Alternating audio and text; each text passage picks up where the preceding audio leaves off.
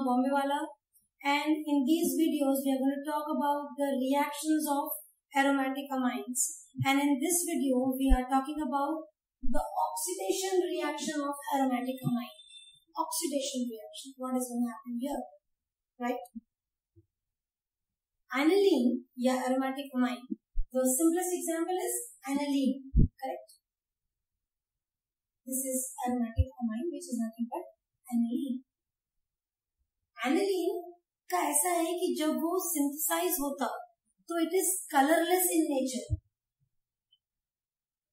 right लेकिन रखे रखे just aerial oxidation it undergo slow aerial oxidation इसलिए अगर आपको एनालिन बना के प्रिजर्व करना है तो उसको well close container away from oxygen रखना पड़ेगा. राइट अगर ऐसा नहीं किया आपने तो in the presence of aerial oxygen it first turns yellow and then it becomes dark red in color. What we have in our lab is dark red because it can, it just automatically gets oxidized. This is the slow process of oxidation. Now suppose I want to do it in the vigorous conditions and I want to perform synthesis.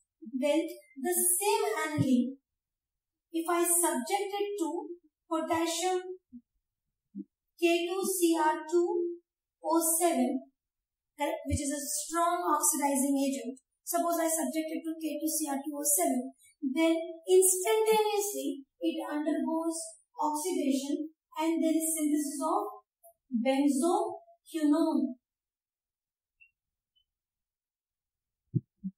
On oxidation, aromatic amines can lead to formation of benzoquinone in vigorous conditions, right?